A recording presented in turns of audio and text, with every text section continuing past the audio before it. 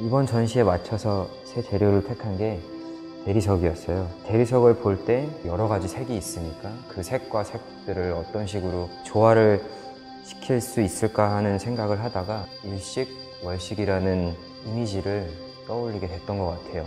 대리석과 대리석, 재료와 재료가 만나는 순간을 표현하기 위해서 일식, 월식을 말하는 이클립스라는 제목을 지었고 결과는 고정적인 이미지이긴 하지만 그 제목을 들음으로써 이제 그 이전과 이후까지 생각해 볼 수 있도록 만들고 싶었어요. 모양은 단순하게 원이랑 원이 만나는 순간을 표현한 거지만 단순한 대비로 끝나는 것이 아니라 생활에서도 쓸 수 있을 정도의 형태, 크기, 높이 등을 부여를 했고 이제 뭐 실용성을 꼭 생각하고 만들었다기보다는 앉을 수 있다 정도의 느낌이에요. 단순히 이쁜 가구나 전시품이라고 생각할 수도 있겠지만 관객들이 봤을 때 자유로운 상상력으로 사물들이 보여지길 바랬던 것 같아요. 그래서 전시 제목 또한 모호한 사물이라고 지었던 것 같아요.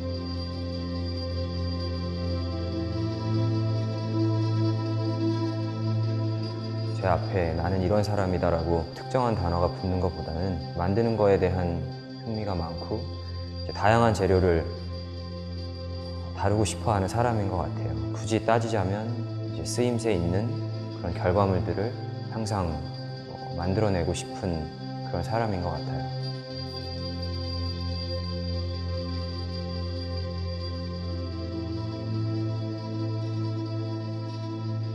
현재 하고 있는 작업인 것 같아요.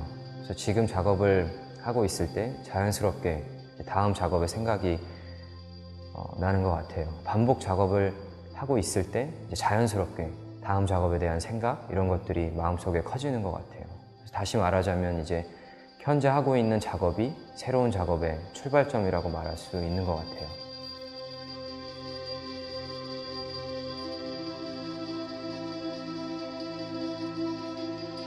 바로 지금이라고 생각해요. 지금 이 순간순간들이 가장 빛나는 것 같아요. 뒤를 돌아봤을 때 내가 해온 작업들이나 또 제가 살아온 삶들이 가장 소중하고 또 감사하고 그런 부분들을 만들어내는 지금이라는 이 순간이 가장 좋은 것 같아요.